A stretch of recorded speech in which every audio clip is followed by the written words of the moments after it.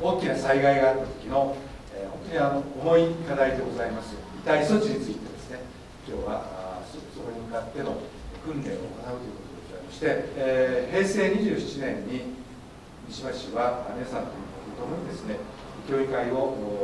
組織いたしましてそして遺体措置計画を作ったわけでございますがこうした訓練を重ねながらですね改良をしてまいりましてそして今年の3月に、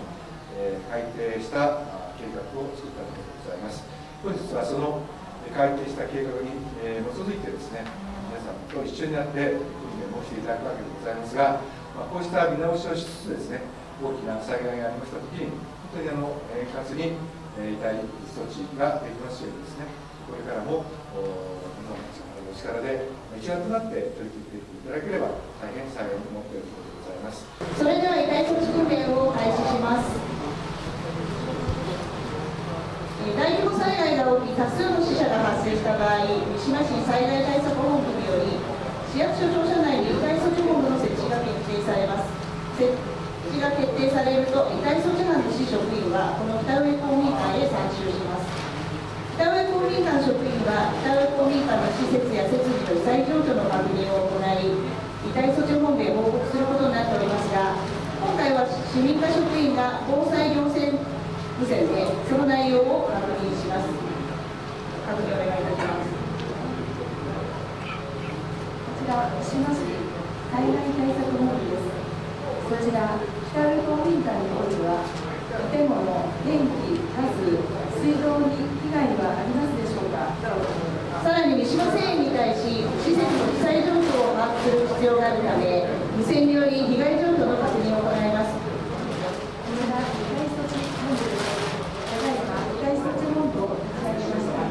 こちら、石野製園においては何か被害が出ていますでしょうか？え続いて市災害対策本部は静岡県災害対策本部に対し遺体収容所開設について報告を行います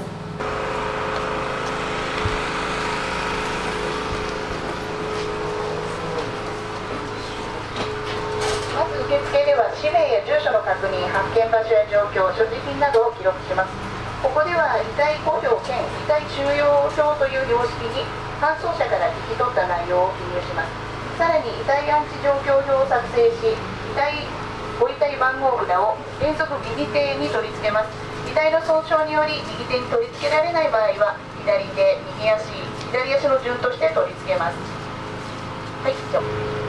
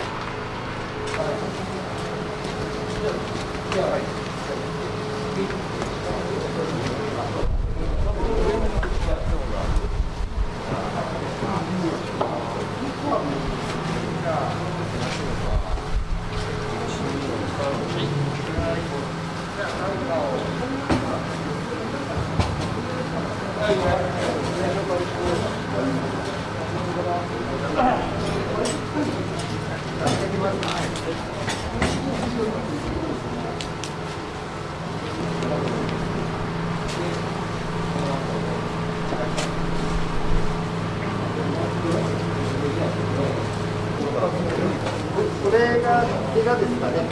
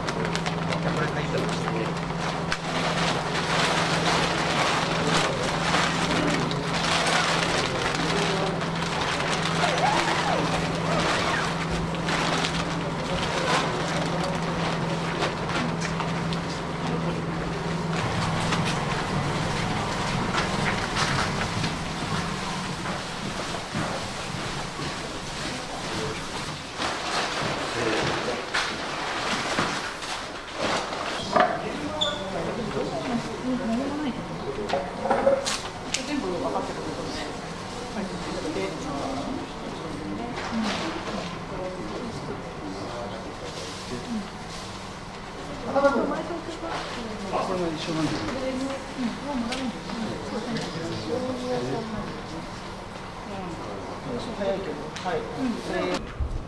も必要かなと思いましたし、あと、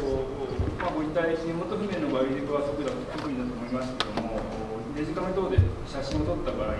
それを印画するプリンターが必要なのかなその後見えないいろんなあの書類のやり取りが大変なんだろうなというふうに思ったんですけれども、あの遺族の方は何も分からずに来るということがあるので、あの大事な書類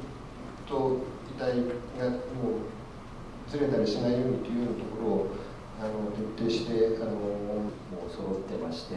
まあ、できれば、まあ、そういう災害時なので。で、あの三島警察署の上杉刑事課長さんの方からあのご評いただきたいと思います。よろしくお願いいたします。では、えー本日はあのムシムシする中でですね、えー真剣な皆さんの訓練を目の当たりにしまして、えーすごいなとあの思いました。私はあの日頃、おまあ、ある程度は想定していてもですね、想定外のことはもうほとんど想定外のことが起こるよと。やっぱ重要なのは本日のようなあの訓練をですね積み重ねて、えー訓練をやった時にこのように皆さんで意見を交換して、えー次のステップバージョンアップを図って進化させていくというのが重要なのではないのかななんてあの私も思いました。